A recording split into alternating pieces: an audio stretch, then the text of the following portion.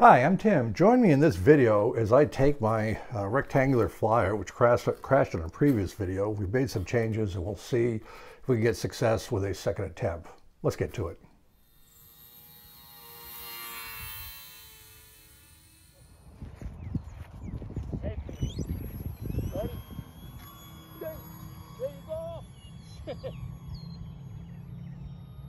so what was the difference? What was the difference?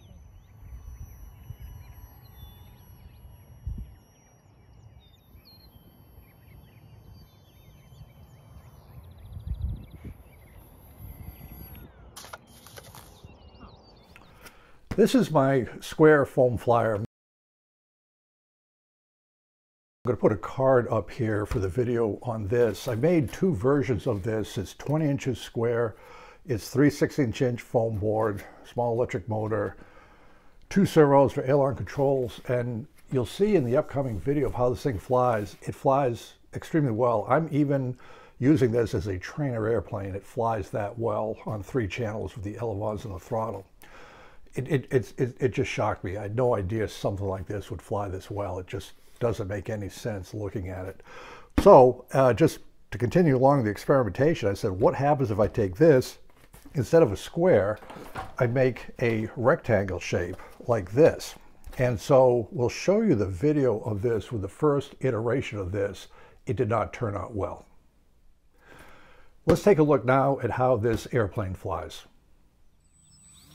This is my first attempt at a design of an RC plane with an absolutely flat wing, the square flyer. Uh, it flies great. It's like a trainer. I just couldn't believe how well it flew. So why not try this with a plank? Wingspan about 40 inches, about 9 inches in um, width. And the first attempt was a complete disaster. You can see I get into a pilot-induced oscillation, the wings fold, and it crashes. Here's a view in slow motion.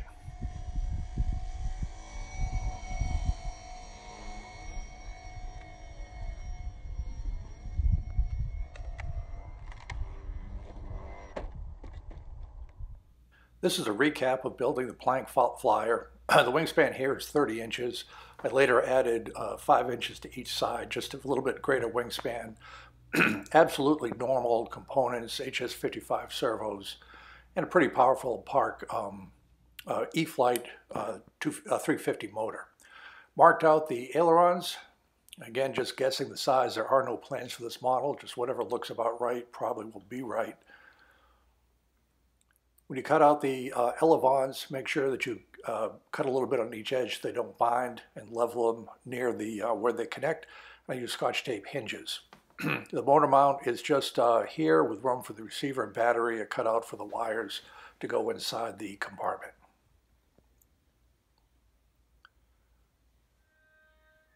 And here the servos are in their little wells. The motor is mounted. Elevons in place as well as a vertical fin.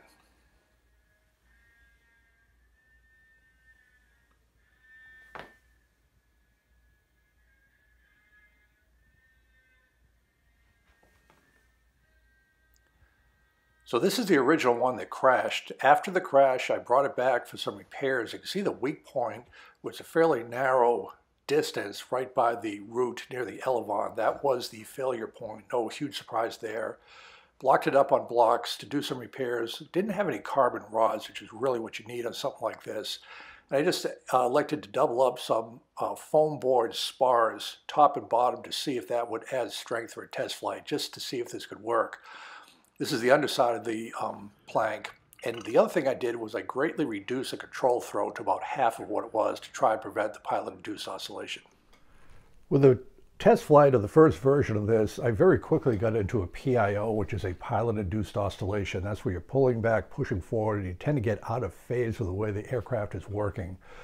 PIOs are not a problem with well-designed, stable aircraft. In this case, looking at the video and thinking about it, the distance between the elevon controls and the front of the airplane with the motor was just very short, which just led it to be twitchy or unstable in the pitch with the pilot-induced oscillation.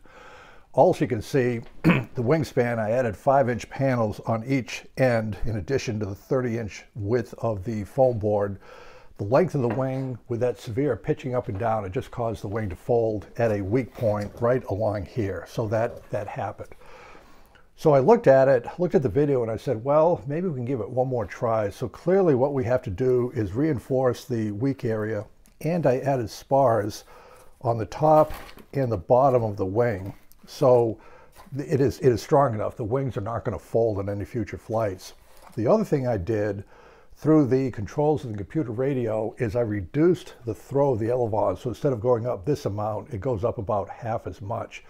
I think by having a reduced throw, it will prevent me from deliberately over controlling if it gets into that situation.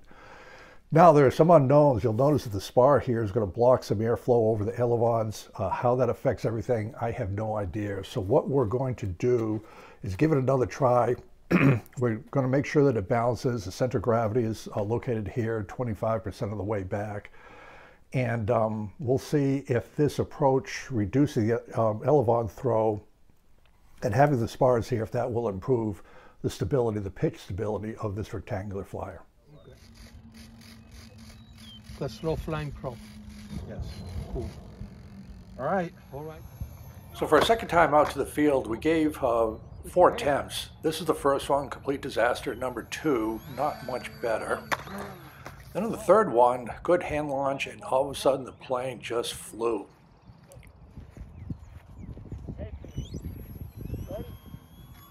It was absolutely smooth. Just for the reduced throw, I did not have the amount of control that I really wanted to have, but got it around, kept it within sight of the field, and ended up, ended up with a very smooth landing.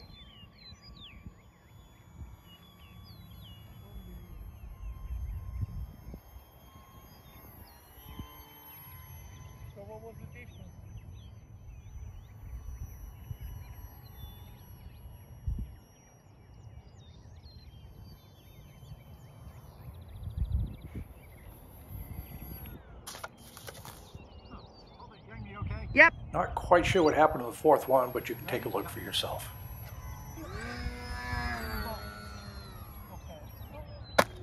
So we had a couple of crashes on this, but you can see that we did have a good flight. I had um, dialed down the control throw to about 60% to avoid over controlling. I had just enough control to keep the wings level, but it was surprisingly stable. Uh, on the flight after that, it crashed right after takeoff. And I think what I realized with this thing is they're just due to the nature of the design, the closest of the controls to the front, you don't get a second chance if you get out of control. There's very little room to recover once you get into an unusual attitude.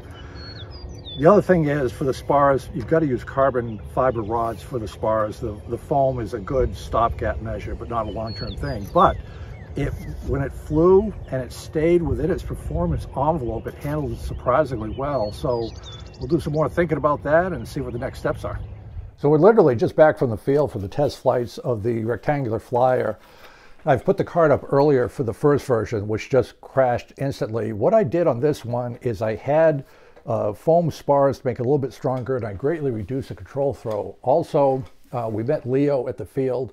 Uh, Leo was, the flights would not have been possible without his hand launches. I realized this thing really has to get a boost to get it going on the initial ones. It doesn't just float along like the square flyer. But we had success with the flights. You saw that flight that was absolutely stable. I was amazed. And then there were some crashes with crashes at the end. What I am taking away from this plane is the distance between the control surfaces and the center lift is so short. It's just an inherently twitchy, potentially unstable design.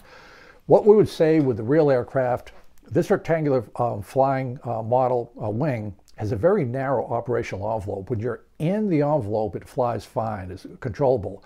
Once you stray out of that envelope, you're in an uncontrollable regime because of the nature of the control surfaces, the length, a bunch of other factors. Once you get out of that control zone, that stability envelope, it's very hard to get back in. You just can't quickly do that. So when you design airplanes, you know, things like long tail moments, sufficient tail area, it's like the feathers on an arrow to give it stability. So as it strays out of its normal operating environment, you can recover. This one, you just can't recover anytime soon. Once you get nose down, there's just not enough control authority to get it back up. So what I wanted to point out was the original version that crashed on the first video had too much control throw. I greatly reduced the control throw on this.